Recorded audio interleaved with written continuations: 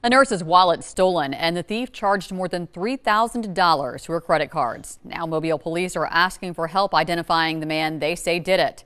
Officers say this man walked into Spring Hill Medical Center Friday, took the wallet, then went to Sam's Club where he used the stolen credit cards. If you recognize him, call Mobile police.